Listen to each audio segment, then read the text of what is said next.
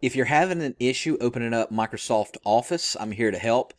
So this will happen if you try to open up the the logo, the icon on Windows, and all of a sudden you get this updating Office. Please wait a moment, and then it'll take you to some random error. This one particular one is this error, this WinWord error. So this happened to me, and I'll help you fix the issue right now. So first thing I want you to do is just restart the computer if you haven't restarted it yet.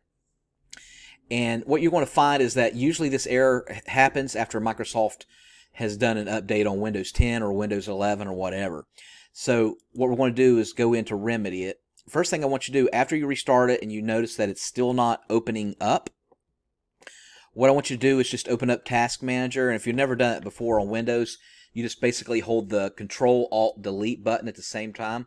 So with one hand, hold down Control and Alt on two fingers and then just hit Delete. And you'll have to look on it on your uh, keyboard. And then it's going to open up the process on Task Manager. Make sure you click on Process on the tab here. And then hover over where it says Microsoft Office. If it is open, it might not be open. That might be the problem. Just right click it or click it and end it. Now, after you've done that, what I want you to do is go back into Task Manager, go to Services over here, and then under Service, look for Click to Run SVC. Hover over it, right click on it, and then left click Restart. Okay, and then after you do that, then tell me if you're not able to get in. Now, if those two methods don't work, this particular method worked for me. This is a surefire method to work.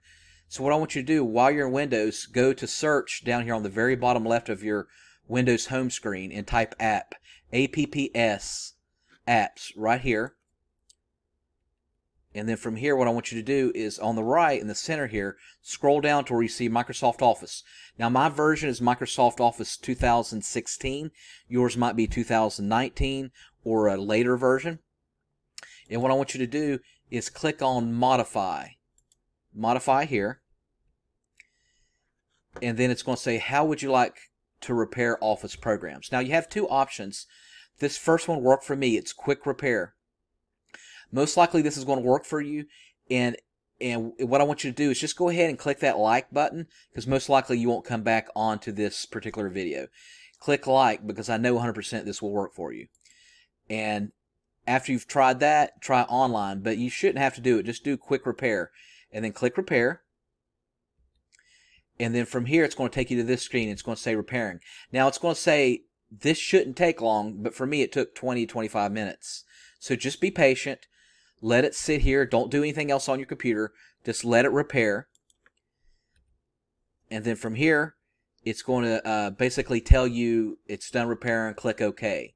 You shouldn't have to restart your computer. Just go ahead and start and then open up Microsoft Office.